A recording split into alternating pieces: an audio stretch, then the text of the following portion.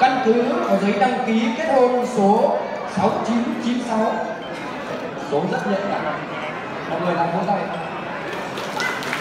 Căn cứ vào tình yêu chân chính và sự tìm hiểu kỹ càng với từng chi tiết. Và mối quan hệ hai bên qua giai đoạn tìm hiểu chín mùi chuyển sang thời kỳ mới. Hôm nay ngày 22 tháng 3 năm 2017 tại đại tiệc Star Place Cô Hầy Hồ hành là?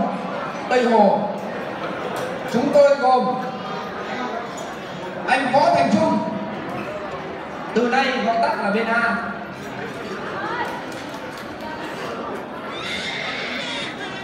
Và chị Nguyễn Ngọc Hương. Trong văn bản này gọi tắt là bên B. Đã đi đến thống nhất những điều khoản sau đây. Một, về nội dung hợp đồng về việc chuyển đổi mối quan hệ một cách tự nguyện sau ba lần khó thở. Và sau đây sẽ là từng phần một. Đầu tiên là xin mời về phía chú rể. Chúng ta đã nghe giám sát đầu tiên. Bây giờ đến giám sát thứ hai. Về quyền lợi và nghĩa vụ của hai bên như sau. Bên A, tức bên ông Võ Thành Trung. Có quyền gọi Bên B là em. Là vợ. Là cô vợ. Hoặc cao hơn nữa là bà vợ. Nhưng tuyệt đối không được gọi là con vợ. À, cảm ơn mọi người đã đồng tình.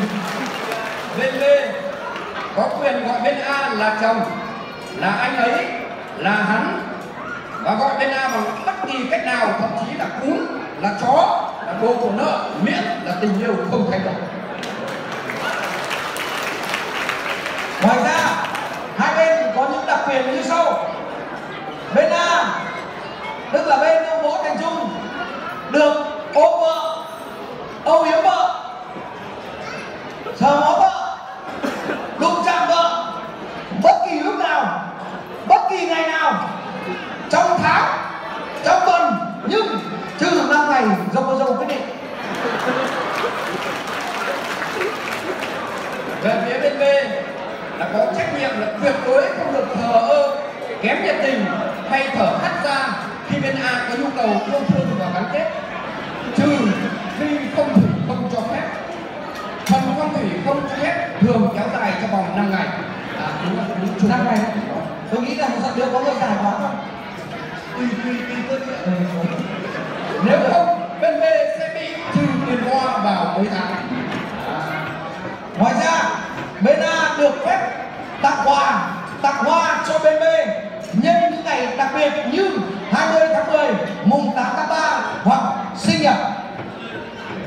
bên B được quyền quy mọi món quà thành tiền cho tiện cất giữ kỷ niệm. Mọi người có đồng ý không? Bên B được quyền rất nhiều quyền dành cho phụ nữ. Tiếp theo.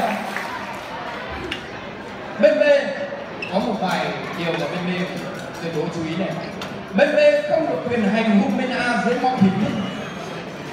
Bên B là bên cô dâu không được quyền hành hung bên A dưới mọi hình thức. Và nếu bên A cố tình hư hỗn hay còn gọi là láo với bên B Thì bên B có quyền thì bên B có quyền tẩn bình thường. Ẩn là sao đấy? tức là đấy? Tại là gì nào? Và khi bị tần thì bên A tuyệt đối không được bỏ về nhà nội.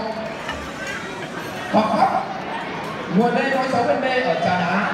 Lưu ý bên A tức là chúng rể tuyệt đối không được khóc đi này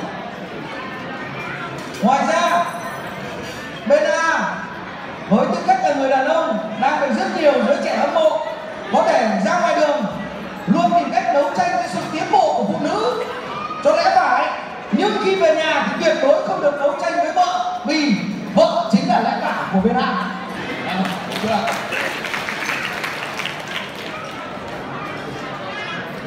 bên B có trách nhiệm tha thứ cho bên A. Nếu bên A có chút sai lầm trong mối quan hệ à, bên bên A chú ý nhé cái này là bên B có trách nhiệm tha thứ cho bên. A nếu bên A có chút sai lầm trong mối quan hệ, và kể cả là bên B có bắt quả tang bên A đang hì hụi sai lầm, thì bên B cũng phải mình tĩnh hiểu rằng bên A yêu mình hơn tất thảy vỗ tay xin bảo ngoan với mọi người người thảo ra cái bản bản hợp đồng này hình như cũng có những vấn đề tương tự. Tiếp theo bên bên bên bên chú ý này. Cái này rất quan trọng nhá bên bên chú ý này. Đấy một cái nước đi uống đi. Cái uống. Uống đi cái này. dù cáu giận cỡ nào thì bên B cũng không được hồ đồ làm tổn thương hoặc các cục cái mà mình vẫn phải dùng mình mình à cái này là không phải là tổn thương, cái này có phụ lục. Nếu không hiểu nó là cái gì nó nó đang có phụ lục. Thì không kèm được. À xin mời bây giờ sẽ là những cái phần. Vâng và bây giờ là điều khoản chung. Điều khoản chung ở đây là sản phẩm của hai bên, tức là mầm mống ấy. Sản phẩm mà của hai bên tạo ra được gọi tắt là con. Con do hai bên phối hợp mà thành.